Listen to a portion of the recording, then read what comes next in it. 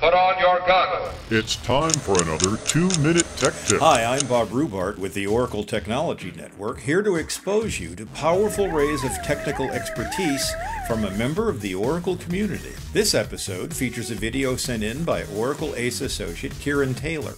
Kiran is Senior Oracle DBA and Business Intelligence Solutions Architect with the Chartered Institute of Management Accountants, otherwise known as CIMA, located in the UK. So let's drop the clock on Kiran. His two minutes starts Hi, I'm going to be talking about StatsPack. So you need to understand what your database is doing at a particular time.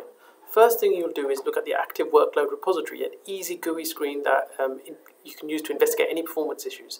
Say you are a standard edition or you're not licensed for diagnostic and tuning pack that is needed for to use the active workload repository, StatsPack will be great. Um, StatsPack takes snapshots of your performance data and thereafter you can report between snapshots.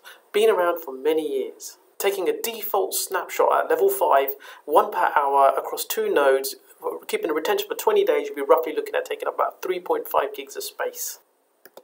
Okay, let's get started. First of all, in the home directory, we're going to log in as SysDBA. Um, first thing we do, we're going to create a table space that would actually store the data. Um, thereafter, we can actually create the schema. So we do the um, sp create SQL. Um, we're going to create a password for and use the password perfstat. This will create the schema. We'll choose our table space, which will be the table space we've just created, and choose a temp table space. Once this is done, the uh, schema will be created where all the performance data will be stored. Once done, we can log on um, as the perfstat user. Once we've logged on, we can actually go and have a look at all the different StatsPack levels that we can choose from. The default is 5. Um, this is how we take the snaps.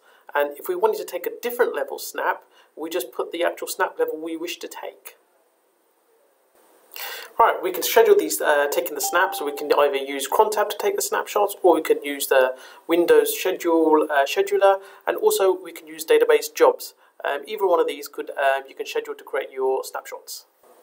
Finally, this is a great procedure to maintain your snapshots. Um, in the days to purge number, just put the number of days you want to uh, keep your um, snapshots and just schedule this to run every day. Thank you. Was that tip useful? This is like a dream I've had. We want your opinion. Thanks for watching and stay tuned.